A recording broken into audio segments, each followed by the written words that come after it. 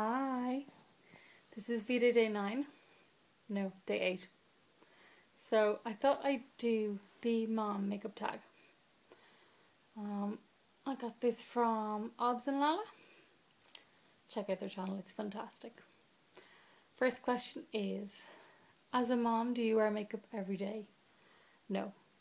I wear makeup on the days I work and the days I could be bothered when I'm out at work. Kind of depends on the day and how busy we are and how late I've left to get ready. Because sometimes, if not all the time, I take quite a while to get ready. No, quite a while to get out of the house. Let's not lie. Um, two, if you're in a rush all the time, what are the least amounts of products you'll use? Base. I always put the base on because without the base, nothing looks good. Well, I don't have great skin. I suffered from acne since I was a teenager. So, really good base. So, foundation, concealer, powder,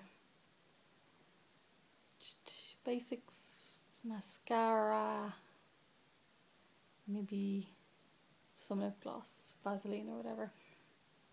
Um, what's your number one must have makeup product?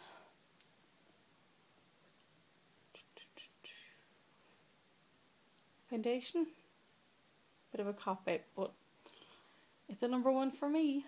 Where do you buy your makeup? Ah, oh, I used to buy it in um, kind of Brown Thomas or House of Fraser but since I became a mommy, I buy it in Dunnes or Tesco at the concession stands. And I clearly need to apply a little more concealer on my chin. Um, do you wash your hair every day? No. I wash it every second day. My hair gets far too greasy if I washed it every day. And it's really thick, so it takes forever to dry. How many products do you keep in your shower? Shampoo, conditioner, body wash. Does a razor count as a product? Three, four? About that. Not that much in the shower. Do you have a skincare routine? What is it?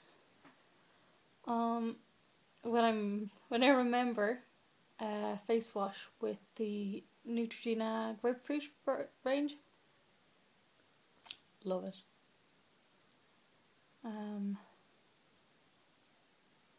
then depending on time of day, it will be night moisturizer, day moisturizer. Don't really do much apart from that. I sh probably should. Um, hold on, you are slipping from my grasp. Do you use body lotions or perfume? Um, I use moisturizer when I have it, otherwise, um, oil, bio oil, baby oil sometimes. Though I don't like to use a lot of the oils because I've read that they keep the moisture in, which is great, but they don't let anything out.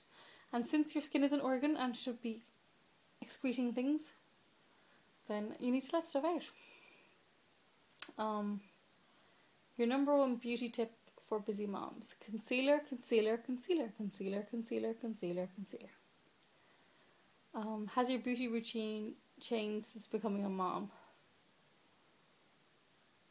Not really. I didn't do much to begin with, so it's not really changed that much since.